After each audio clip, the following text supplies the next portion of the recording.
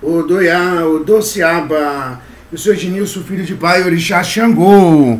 É, estamos assim, é, vamos editar assim, vídeo, mais um vídeo de Ecos de Aruanda. É, semente, pontos de reflexão diária. E hoje será assim a reflexão de Mamãe e Manjá. É, edição extra assim, edição especial 2, semente, pontos de reflexão diária.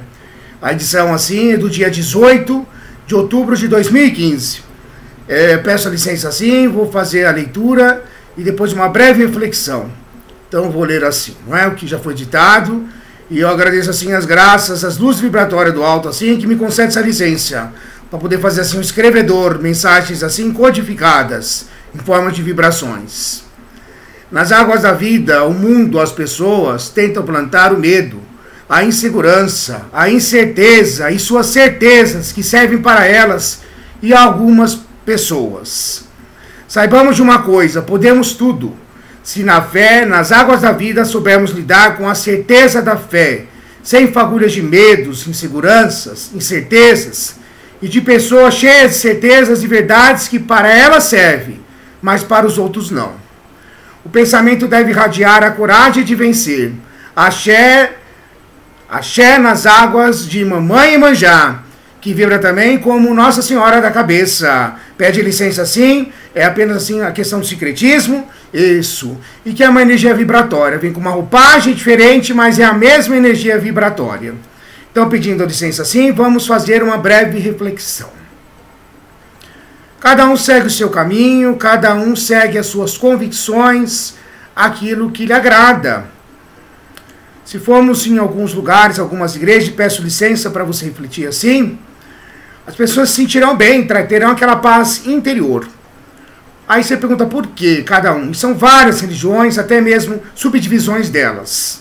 Desde o cristianismo, por exemplo, né? A gente fala de catolicismo, se fala de evangélicos, e aí vai seguindo assim uma série de, de, de, uh, de, de, de, caminhos, né? Que cada um vai buscar a sua resposta, isso, e a sua forma de entender as coisas. A pessoa se sente bem, é um bem-estar, não é? Faz bem aquilo, tem uma boa energia. Aí a gente pergunta por quê? Porque tudo aquilo que a pessoa segue na sua vida, dentro daquele patamar energético, está atingindo o seu coração e respondendo aos seus anseios, inspirações, mas naquele, naquela vibração que ela mesma tem na própria vida. À medida que a pessoa vai evoluindo, evoluindo, evoluindo, evoluindo, ela vai entendendo a, a, fé do outro e respeitando a fé do outro, o caminho do outro, não é? Ela pode ter sua convicção, mas ela respeita o outro também, dentro da vibração dele. Não acusa, ah, você sabe menos, você não sabe de nada, você está errado. Deus não quer isso para você. Você tem que ser assim, você tem que ser assado e assim por diante. Então, ah, ah, para poder realmente se preencher da fé, temos que se esvaziar de nós mesmos temos que a, a, a, se esvaziar de nós mesmos, na certeza dessa luz, e a, quando chega-se ao apogeu dessa luz, ao clímax, ao âmago dela, nós vamos aprendendo a, a ver o outro, a enxergar o outro, não como obstáculo, não como algo errado, não como, como coisa do veneno, do satanás, etc. Todo o templo é sagrado. Todo templo é sagrado e, ainda que esteja em condições de baixas vibrações, é sagrado do mesmo jeito. Se a fé realmente vibra como luz alta, a pessoa vai entender o caminho do outro e vai amar o outro. Ah, mas o outro fez isso, isso para mim. Você se cale e guarde para você. Não vá passando essa erva daninha para o outro, para o outro e para o outro. Ó, oh, fulano não presta. Cicrano é assim. Beltrano é assim vai levando os problemas e isso vai passando, passando, passando. Algo que é perigoso. Então, ainda que você fale assim, olha, a pessoa fez isso para mim, você guarda para você, não vai passando adiante, porque é feio. E isso é, contradiz o amor e a luz da fé. Porque o amor da luz da fé faz oração para aquela pessoa, entrega para Deus que seja feito melhor. E o próprio Deus virá se encarregar. Agora, quando a pessoa toma medida de, de, de fazer tudo com as suas mãos, ela está querendo ser Deus e falar assim: o que eu quero vai ser e acabou.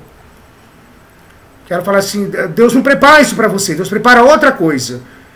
Nesse, nesse preparar outra coisa, ela já está querendo impor o seu, o, o, a sua, o seu ser Deus. Isso é um perigo. Então, que mamãe manjar Ilumina o nosso catué para saber lidar com toda a ignorância, toda a fagulha, todos os problemas, todos os tipos de vibrações. Sempre na luz vibratória do amor. Isso.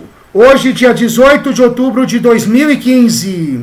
Isso, que nas águas da vida, mamãe Manjá, isso, nos ajude na nossa cabeça a se orientar para mandar as coisas ruins para longe assim, isso, e trazer as coisas boas para a vida como forma de energia, para sabermos lidar e não trazermos assim os problemas, não é?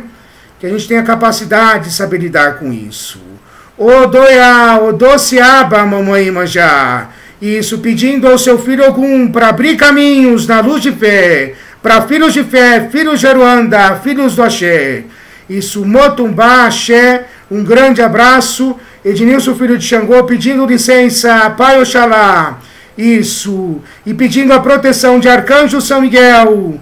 E isso, agradece a Aruanda pelas luzes vibratórias, isso para lidar assim com as coisas, e passo a passo e vencendo assim e se passando essa luz de amor que sempre tenho no meu coração, em luz de personalidade, isso, que a Ruanda se reconhece com toda a humildade, não é arrogância nem prepotência. Obrigado, Axé.